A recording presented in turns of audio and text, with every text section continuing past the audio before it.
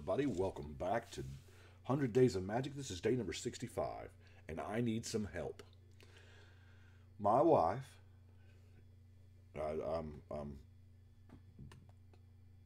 can't gush enough, but anyway, she gave me Angus Mackenzie. Of course, you know, we kind of saw that coming from a couple weeks ago, but she gave me this card and told me my directions were do something cool with it.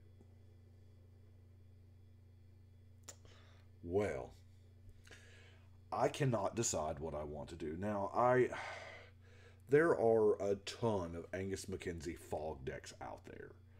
And it's just it seems so done. And y'all know that I like to try to do things that are a little different, a little off the beaten path, out of the norm. So I, was sitting here going, how how can I build an Angus and make it different? Now, I looked over on EDHREC, and the the most popular builds that they've got are, of course, Fog, the uh, enchantment theme, Planeswalker, like Super Friend type things, which that's really neat because Angus can protect them as well because creatures, you know, attack and block but don't see on any combat damage. So, you know. there's just so many different ways to go about it. And I mean, technically, he is the same three colors of the the tribal crabs I'm building that has Treva as a hold in. I think it's Treva. Yeah, the life gain invasion block guy, dragon. So, but I, I don't know that. I don't know that tribal crabs is uh, the way to go here. um, clue tokens, uh, tokens of any kind. Um, I mean, and and there again, I could just do white, blue, green, good stuff. White, blue. I can understand the enchantments because that's where most of your good enchantment cards live is in those three colors, especially since C18. But y'all give me some help. I have no clue what to do with this guy. And uh, my directions are it has to be cool. So uh, I do like him. This is the most expensive legendary creature so far. I mean, uh, as of of this date, but uh, I, I guess another one could come up, overtake him, but I doubt it. I don't know that Rasputin is uh, that big a deal. But anyway, Angus Mackenzie. It. I feel like cards that I'm going to have to have are either equipment or enchantment things that untap him, like that. Um, oh, what's the the enchantment version of the horseshoe crab ability? You know, spin the blue mana, you untap it. Uh, I feel like those because we are playing multiplayer and typically we play four plus. So more times than not, you have more than one combat step that you're going to want to fog. So we need ways to untap our boy here. And I can't not look at him and think of Monty Python and the Holy Grail. I mean, I, I, I just can't. But anyway, I guess there's an option too. Uh, I'm betting. I'm betting he's a wizard.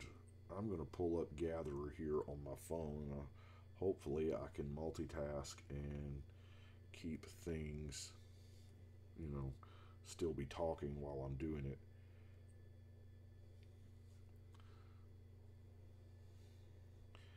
Angus. Evidently not. I can't walk and chew gum at the same time. So let's see exactly what his creature type is. Angus Mackenzie. He is a human cleric. Wow, not a wizard. Looks like a wizard. I guess they defined it by his abilities and less his art. But here is the current wording. Uh, it's green, white, blue now. I, I guess the order is different. I don't know. Legendary creature, human cleric, green, white, blue tap. Prevent all combat damage that would be dealt this turn. Activate this ability only before the combat damage step. It is a rare. Battles no longer serve a purpose in Karakas. Um, now, I don't. Could we do?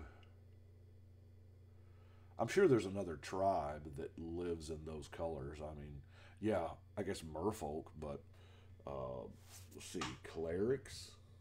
Uh, it's hard to do clerics without using black because there's so many good black ones. Um, although that could be an option. Here I am just brainstorming, trying to come up with something, and I could totally do the. Another option is bling. Old, powerful, um, just you know, good stuff deck. Another option is uh, oh, what, was that? Uh, who did that song? 1994. Wonder if there's enough enough cards that see print. Saw print in 1994. Y'all remember it, it, it was the Jason Aldean's Aldean song, but just a 1994 deck. Obviously, that would encompass Legends. Uh, it's, it's kind of half of 93, 94, but um, I'll have to look that up. That may be that may be an option. I just thought of that because I'm looking at every aspect uh, of the card. I'm looking at, at uh, maybe people with capes. I've already done beards. Uh, he has a cape, staff. He's got a staff. Could totally do staves. Oh man, staff of domination would have to go in. Just those two cards alone are are beg for something busted. Um, Legends was a big set. Is it possible to do just a Legends? I don't know that I have enough cards to do Legends. No, because Legends didn't have basic lands in it. Huh.